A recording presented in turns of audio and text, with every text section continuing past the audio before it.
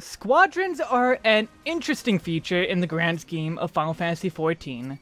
They're a precursor to the advanced AI and flavor of trusts, but also just end up kind of being forgotten due to just how shoved off to the side they are. Yet they're some of the most useful optional features you could hope to have, especially if you're a solo player without a free company. But before we get more into what squadrons are or how to progress them, let's take a quick talk of the prerequisites.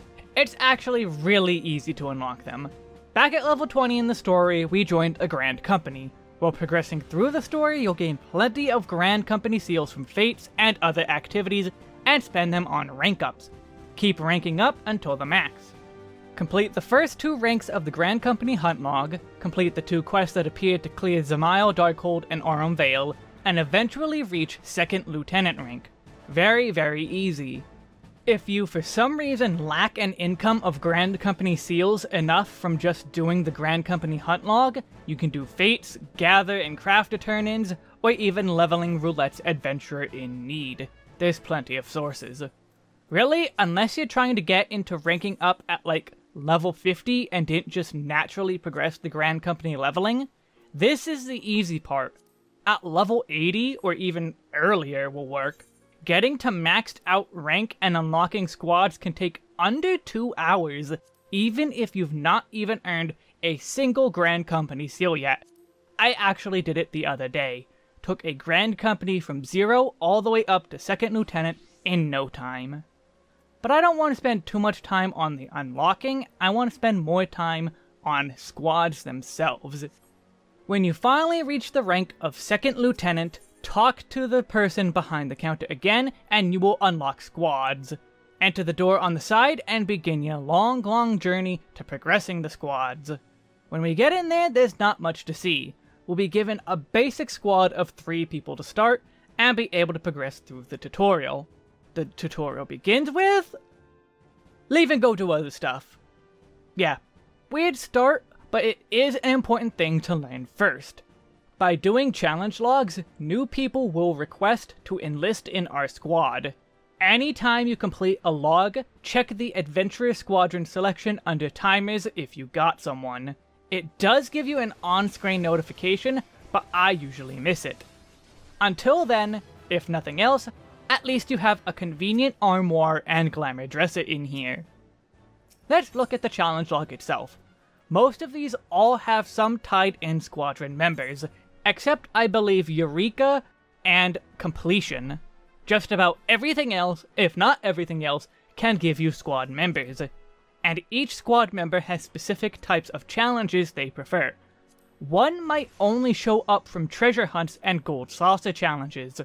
The wiki has the full list of squad members and a list of what challenges spawn them. So go out, do some challenges, kill some fates, do some dungeons, and anything else you might have to do in the challenge log. However, not all challenges will give you squad members. You only have a chance at getting a squad member, even if it can give you one. You may need to do 3 or 4 before you get even one squad member but when you do, you can come back to the barracks. The papers on the table will now have a mark over them, but only for this tutorial section. From now on, you'll have to check the paper or the timer section for any new squad members. No matter who you get though, just take this first person, so we can continue the tutorial, which is our introduction to missions. The first mission, no matter what, is guaranteed to succeed and reward all of your squad members with some EXP. Send them off and come back in an hour.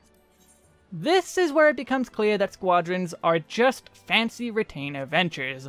There's no gearing or anything, but you pick an objective, then go away for however long it takes. This first mission is only an hour, so let's go away again. When the timer runs out, talk to the sergeant. Congrats! We had a very basic mission of being NPCs, and we succeeded. Now to celebrate with training, woohoo! The regiment board is key for progression both for EXP and for stats. This is a confusing window at first, so let's break it down.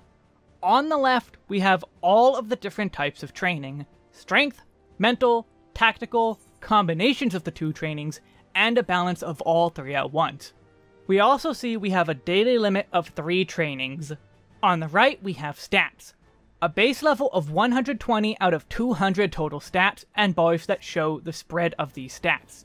This is completely separate to the stats of each individual member. This is a squad bonus that applies for everyone. And at the bottom we have our squad. If someone will level up from training, it will tell you here. Hovering over each training, we see how it affects our stats. Each training will add 40 points to our stats, except for the balanced training, which will do nothing. Add points wherever you wish to start, but I'd say strength is the best option to start, but there is no one way to do all of this. No matter what you pick, you are likely to move stats around later. But for now, pick one, and wait another hour. Like I said, fancy retainers. Most of what we do here will be waiting. One hour later, we can talk to the board, see our success, and that's it, the tutorial is finally over. I recommend doing another training at least before doing the next mission, just to max out your training stats. But otherwise, it's now time for a real mission. We have a list of level 1 to 15 missions, each given their own EXP having a GC seal cost to send the squadron out, and at the top, stat requirements. It seems to me the following. Each stat threshold that is asked for is a 33.33% chance at completion of the mission. So this level 1 mission, all three stats are blue, and I have a 100% chance to complete the mission. The sergeant at the bottom even says as such. Pick another mission though, and some turn red. His flavor text will change for how many different stats are failing to meet the requirement, and so does the chance to fail the mission. You can't do a higher level mission than the highest level squad member you sent out, so to start this will be no worry.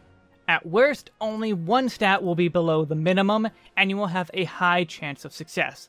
So send them off, and come back in 18 hours. Real missions are actually 18 hours long. Highland exploration, just like retainers. So go do stuff, and probably complete more challenge logs, and potentially get more squad members.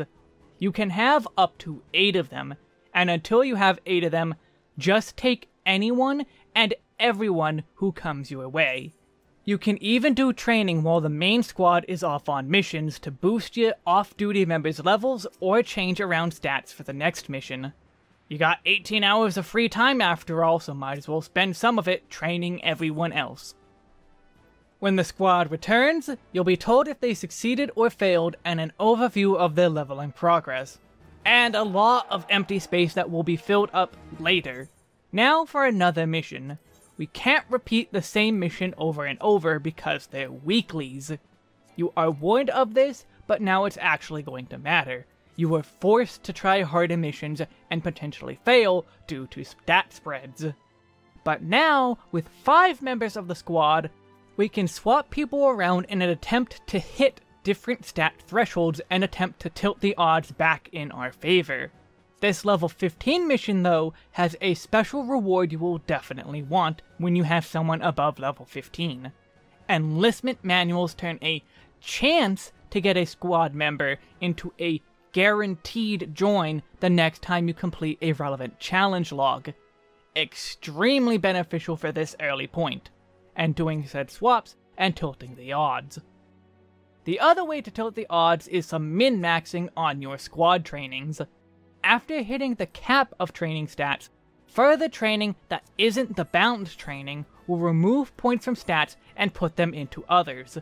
I'm sticking to all in just the strength for now, just because I only have one strength-based member, as we hit level 20 on at least one member for our first flagged mission, a rank up mission.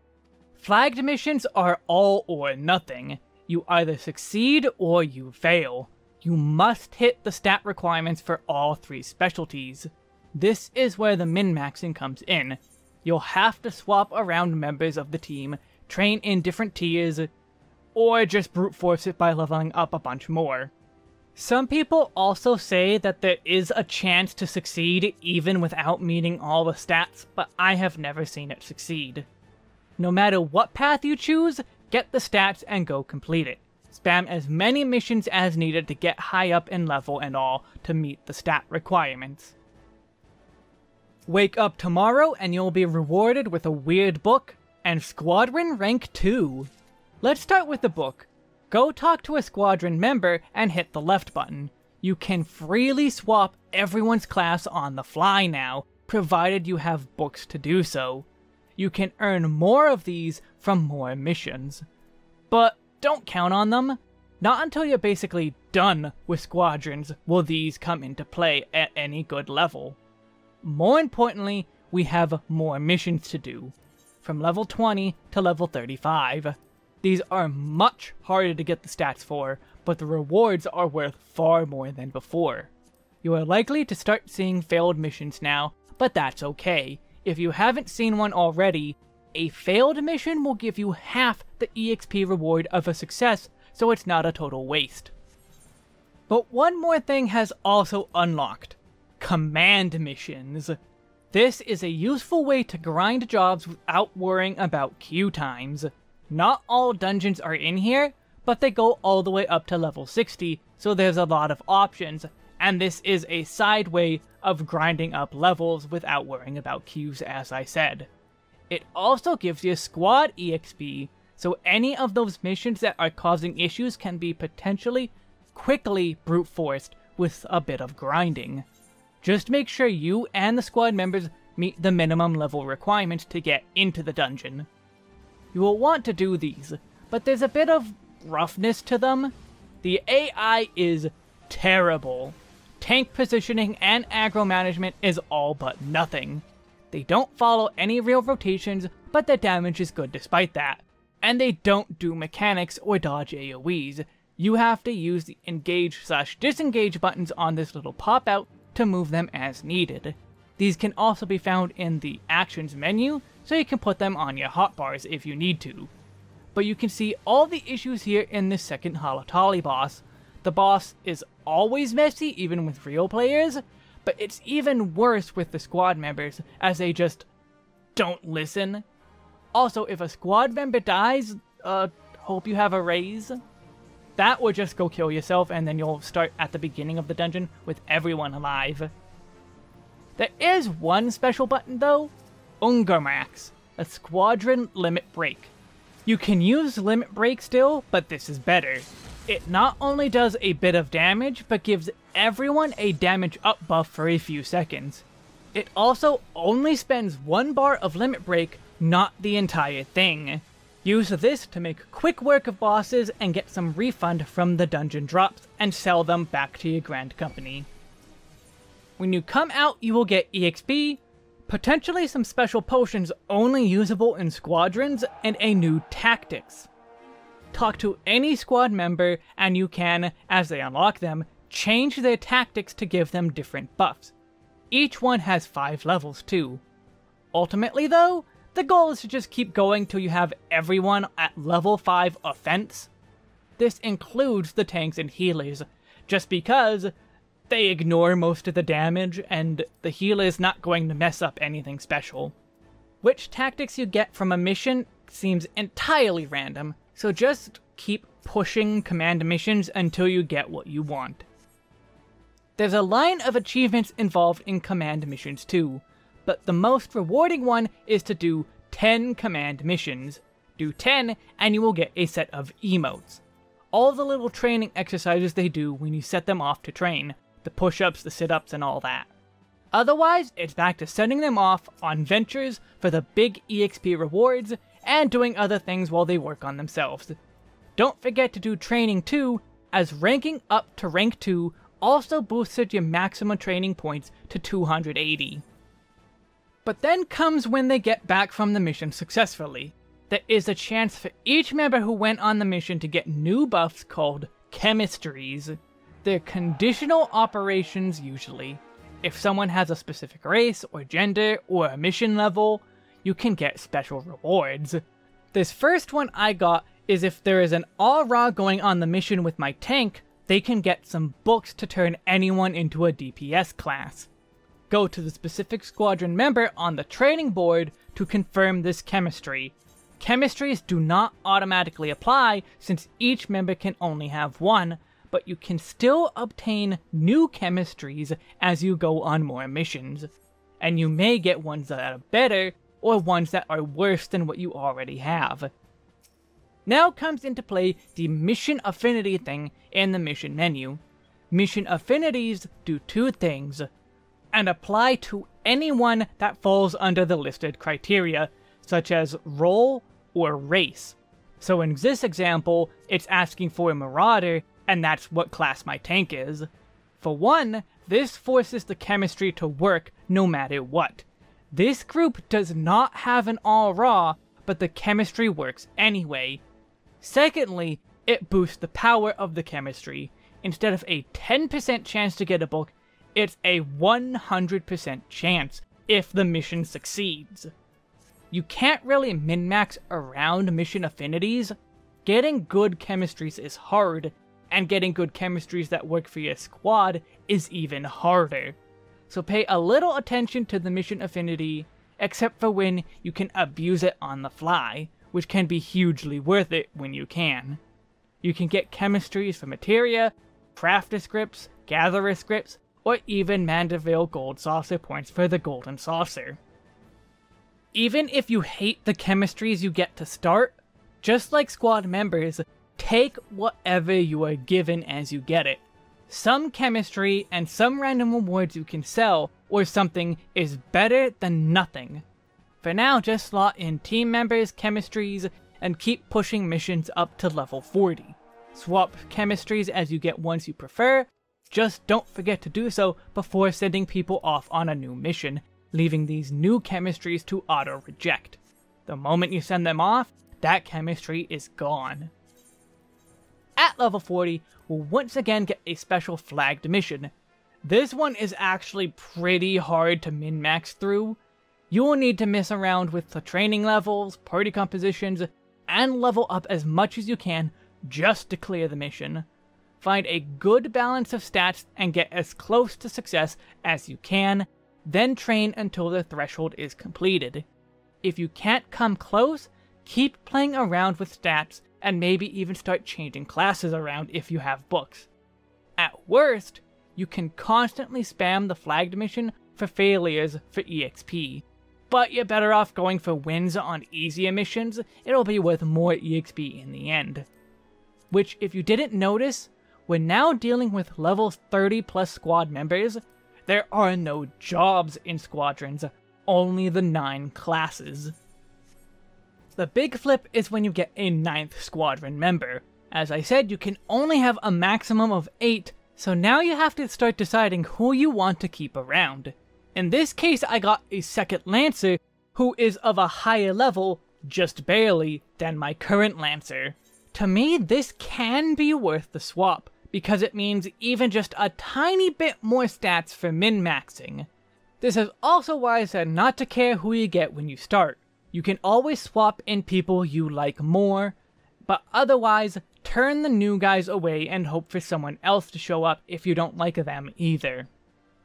But with enough work, you'll finally hit the magic numbers to succeed the level 40 flagged mission. Do it, and get to the big boy slash girl rewards. For a start, hitting rank 3 with your squad auto promotes you to first lieutenant. This comes with a new Grand Company seal cap of 80,000.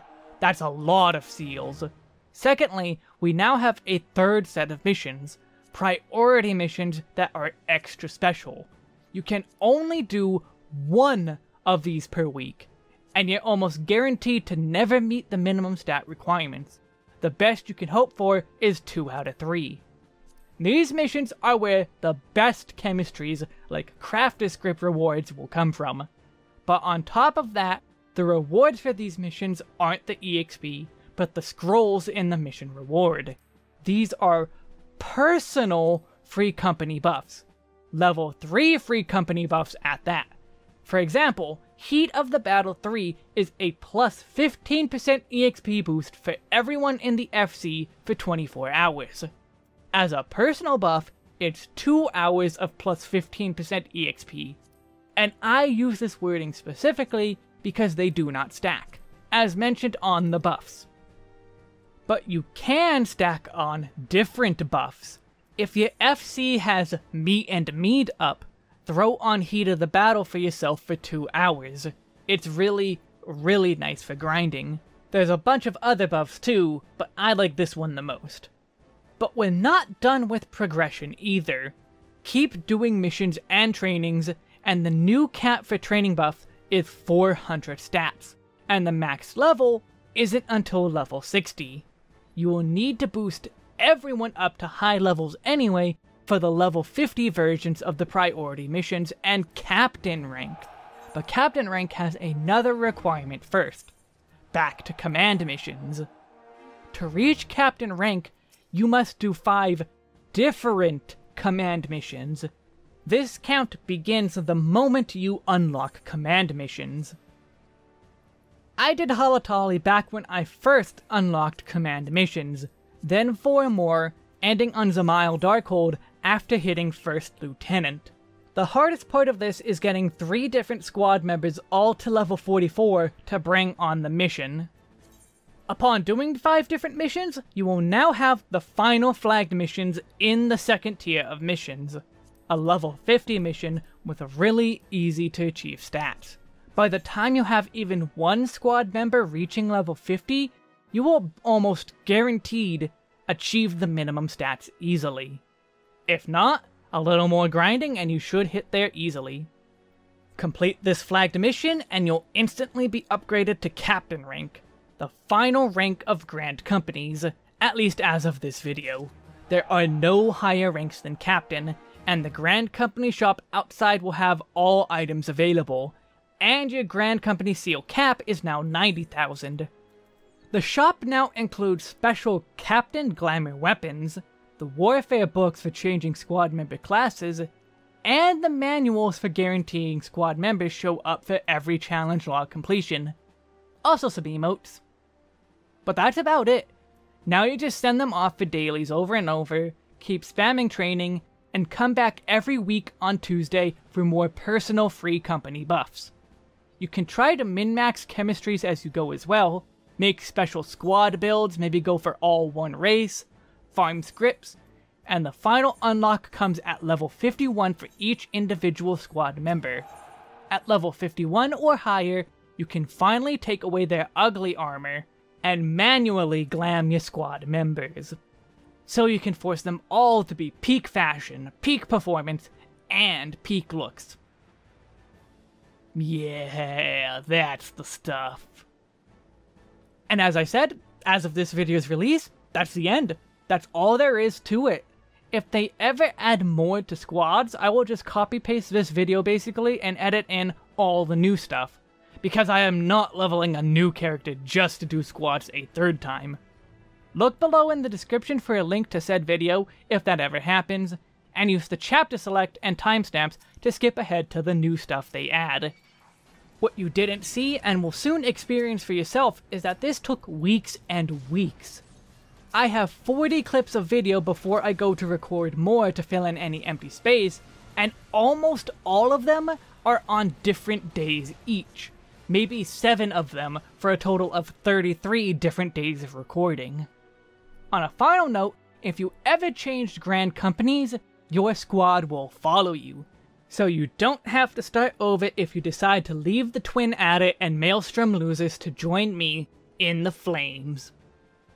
But hey, at least it let me put 8 people into pig costumes. Thanks for watching this little foray into the world of squadrons. I hope it explained to you the things you didn't understand and why it's actually worth building your squadron up and getting it done. Personally, the personal buffs, redundant, are worth it. Even if you're not a one-man army like I am, and you have a free company, the extra buffs are really nice to have around. As a raider, as a casual player, whatever. If nothing else, you can get a few lucky craft scripts, and unless you like grinding a lot, those aren't exactly easy to farm either. But that's besides the point.